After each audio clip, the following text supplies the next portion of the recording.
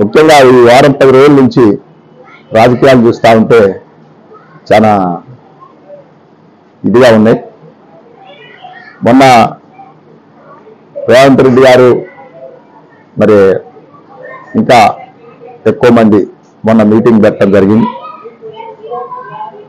దీంట్లో రేవంత్ రెడ్డి గారు కానీ వాళ్ళ పార్టీ విధానాలు మాట్లాడరు.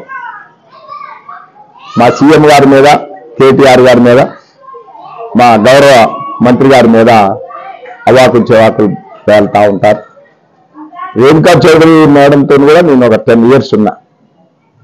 ఎప్పుడు కూడా ఏ కార్యకర్తను కూడా ఎంతో ఇష్టంగా కష్టంగా వాటికి తోని పనిచేసినా సరే వాళ్ళ కష్ట సుఖాలు ఏంటి?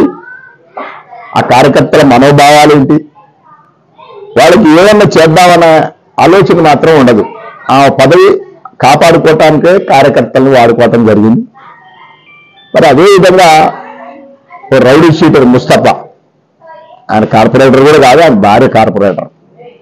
మరి ఆయన గారినే ఆమె ఏదో చిన్న ఫ్లెక్సీ చింపిందని కేసులలో పెట్టి దగ్గర దగ్గర నలభై రోజులు యాభై రోజులు జైల్లో పెట్టడం జరిగింది.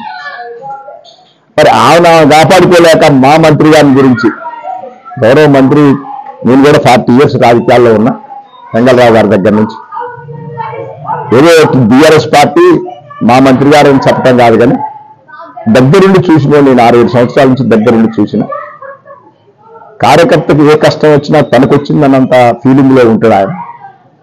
ప్రతి డివిజన్లో కూడా నలభై యాభై మందిని పేరు పిలిచి పిలిచే అంత అర్హత గల్లోడు మరి ముఖ్యంగా ఈ సామాజిక కార్యక్రమాల్లో కూడా మీరు చూశారో లేదో ఎవరైనా చనిపోతే పట్టుకోవటానికి దగ్గర పోవడానికి కూడా భయపడతాం కానీ మా మంత్రి ఆ పాడిని మోసే అంత సంస్కృతి గలవాడు. ఇంకా కూడా ఆ రేణుకా చౌదరి మాట్లాడుతుంది శివరాసనని లేకపోతే అవినీతి పడడం ఏ పిచ్చి మాటలన్నీ మాట్లాడుతూ ఉంటారు. మీరు మీ పార్టీ మీరు యాభై నాలుగు సంవత్సరాలు ఉన్నారు. కాంగ్రెస్ గవర్నమెంట్ యాభై నాలుగు సంవత్సరాలు ఉందండి. ఇవాటికి కూడా దద్రం తాళవిస్తుందంటే మీ పాత్ర కాదా? యాభై నాలుగు సంవత్సరాలు ఏం చేశారు? గడ్డి బీకారా మీరు? మరి యాభై నాలుగు సంవత్సరాలు చేస్తే మళ్ళీ ఇవాళ కేసీఆర్ వచ్చి ఇల్లు లేవు బళ్ళు లేవు అది లేవు ఇది లేవు అని మాట్లాడేంత పరిస్థితి ఆడిది? దాని తర్వాత తెలుగుదేశం వచ్చింది పదిహేను పదహారు సంవత్సరాలు వారు